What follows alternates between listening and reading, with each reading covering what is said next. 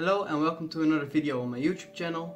I will be showing you how I process my monochrome images using Siril and Photoshop. I shot a hydrogen alpha, green and blue image uh, using a 10nm HA filter and the green and blue filters from my ZW LRGB set. I will start with the HA filter click the home button and select a new working directory. I'll create a new one, elephant trunk footer. Open.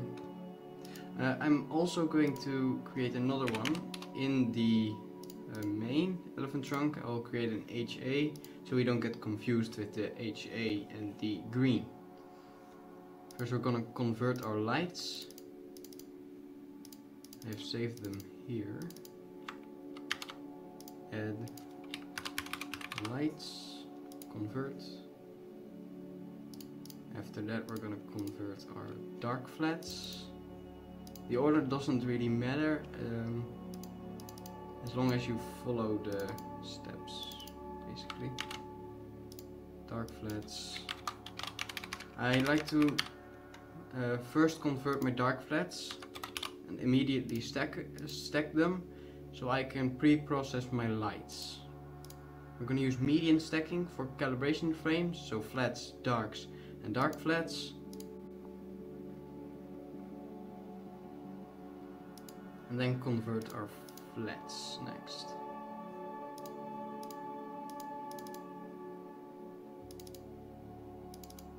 Control all let's convert. Um, after that's done, we're going to pre-process, like I said. Uh, we use master. Um, I'll use dark, like this, and then dark flats.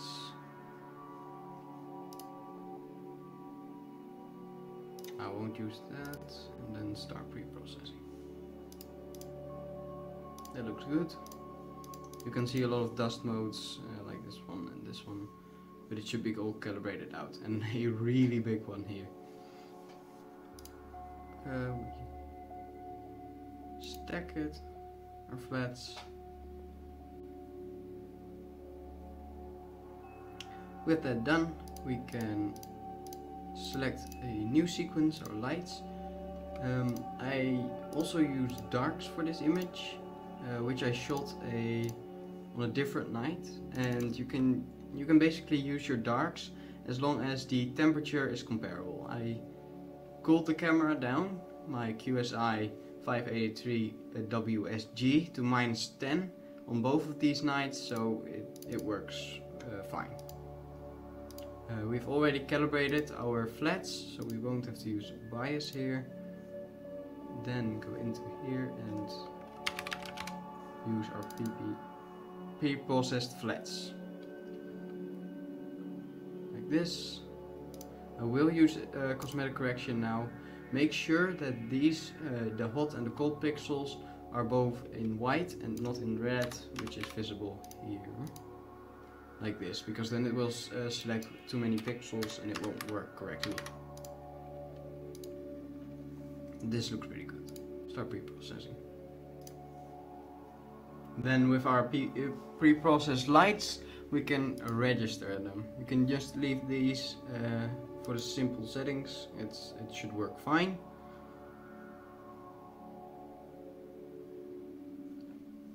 With our registered uh, lights, we can now look at the plot. Um, if there is, for example, uh, a one really high, you know this frame is uh, of a lower quality and you can exclude them especially if you have poor guiding maybe then it would be uh, would be smart to exclude a couple of frames. For now I won't be doing this because I only have 11 frames and I'm going to use all of them.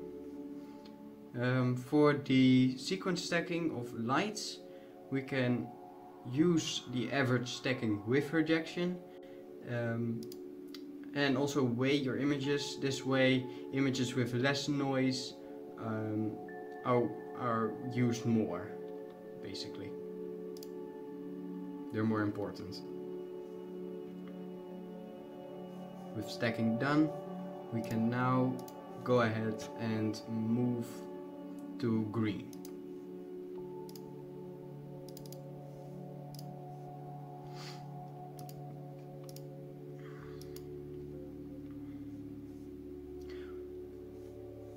When we are done with the pre-processing of our green lights, we can now register them.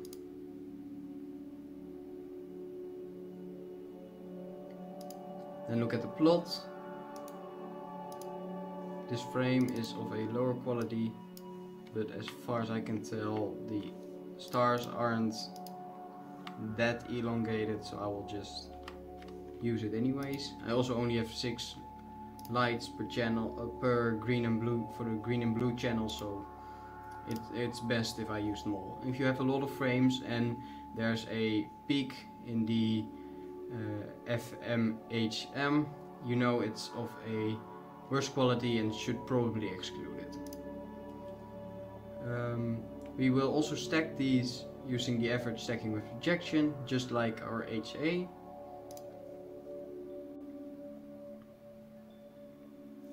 and after that we can now go into our blue channel.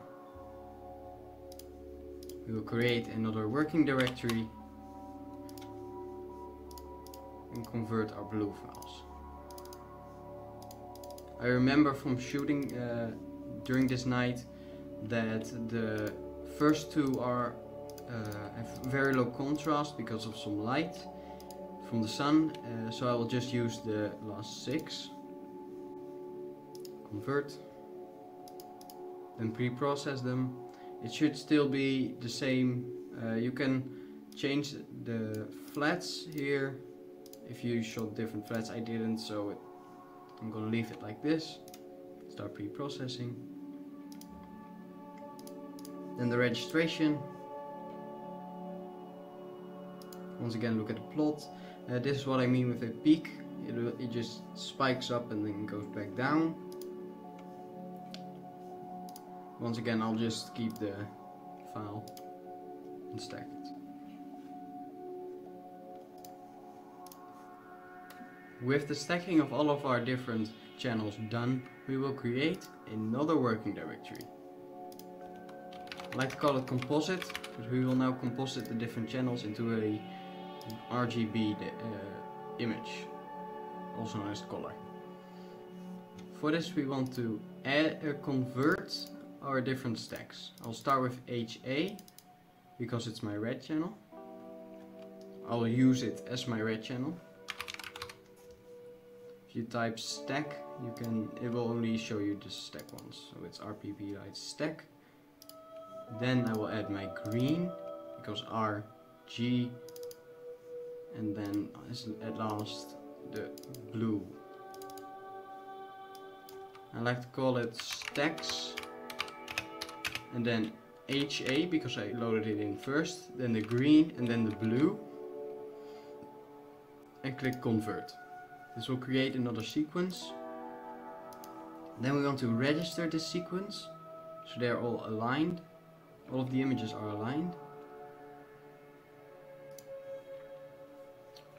After the registration of the different files, we can create our composite. I will be using a luminance. Uh, this is going to be inside of composite and then the R stacks HAGB. This is why I loaded them in in a sequence and then gave them these names because now I know this is HA. This will be HA. This will be green. This will be blue. Uh, I will be using a luminance layer from uh, the HA layer as a luminance layer because uh, it has the most data and is the least noisy. And hit close, we can stretch it.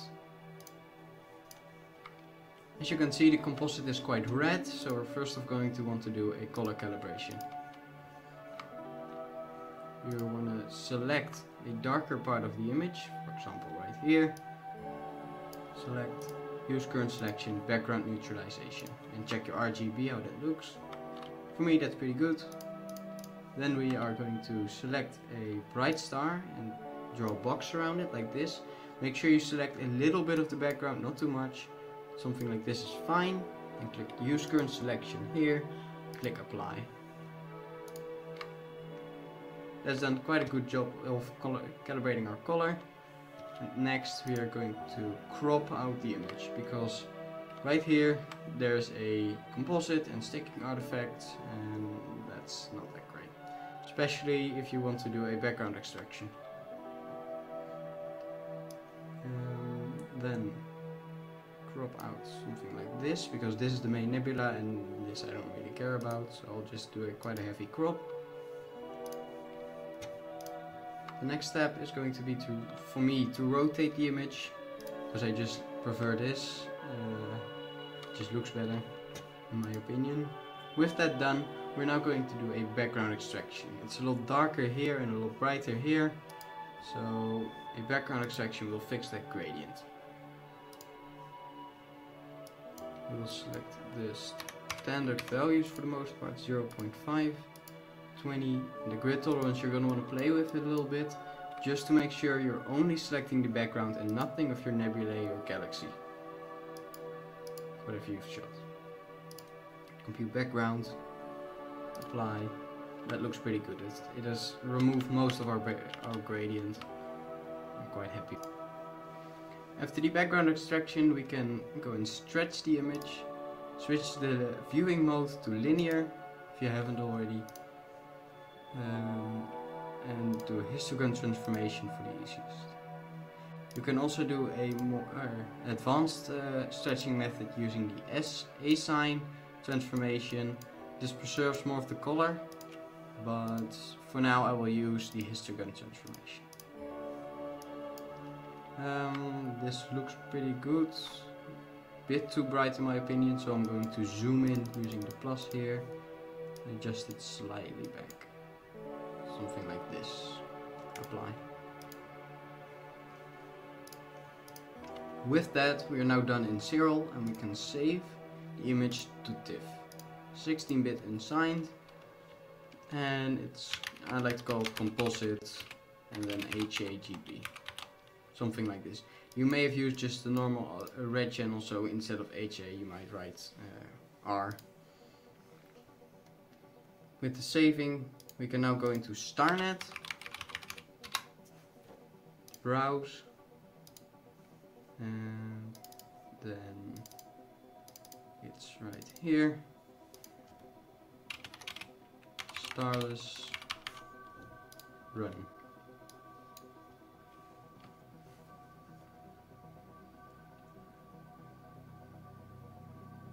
You can also use finer tiles. This will take four times as long uh, but I found that the result is minimal. But just test it out, see if it works for you. When StarNet is done, we can open up both files into Photoshop.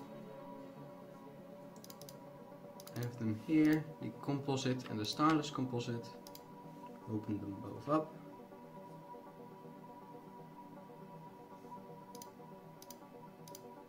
We will now first apply our starless image to our composite image to result to get a an image that is just the stars. You can go into image, image apply, starless, G you're going to go oh, and select the starless image, then subtract, and you can play with your with this one a bit just whatever looks good and selects the entire star of all of the stars. It's a bit too little, so I will use 15. That looks really good. Click OK. Call the stars. After we've created our star layer, we'll get back to it later and first look at our starless. As it's quite noisy because it's only 4 hours of data, I'm going to start with some noise reduction. For this I use camera raw filter. Zoom in a bit so we can see. what we're doing. And first I'll start with some color noise reduction, just so all of these weird colors are gone. Most of it is gone. And some noise reduction. 50 for now. You want to make sure you're not losing any detail in the nebulae itself, or galaxy. So you want to preserve most of it.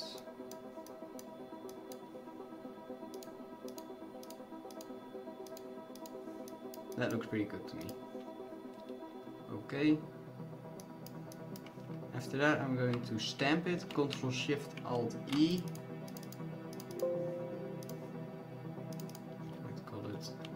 reduction. Stamp.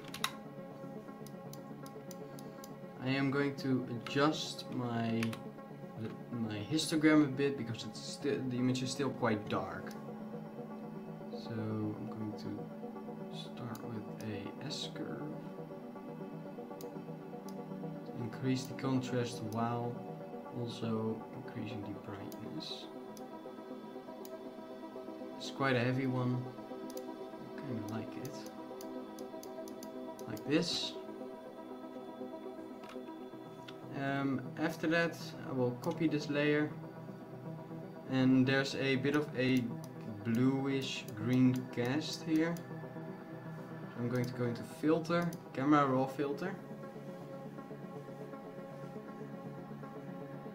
And I am going to slide down to the color mixer. In here. I like to go into the saturation and lower or and click this button here. Go to the part I want to reduce reduce it just a bit. Like this looks pretty good. There's a bit of green here still. I will reduce the green. And because I know there isn't any green there isn't is rarely any green in space so we can just remove it completely. Click OK. As now there's still quite a bit of noise, I'm going to stamp again using Ctrl Shift Alt E and then go ahead into select uh, color range and select the shadows because in the in the nebulae itself the noise isn't that bad but when we look at background it is quite noisy. We hit OK. You now see that the the bright parts of the nebulae aren't selected while the rest is. I'm going to feather our selection as well by about 4 pixels just to make sure that only the really bright parts are selected. After that we can hit this button here which will create a mask. We can go into filter now blur, Gaussian blur. Make sure you're selected on the image itself and not the mask, like I was. Into blur, Gaussian blur. Then I'm going to reduce it a bit.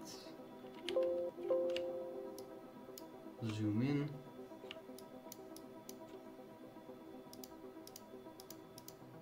That looks pretty good. Then because the blend isn't that nice at the moment, there's more noise here, less noise here, to reduce it, the layer a little bit, the overlay. Pretty happy with that. And then I will also make some, and then as the last step, I will make some final adjustments in the camera raw filter. Just, this is purely personal preference.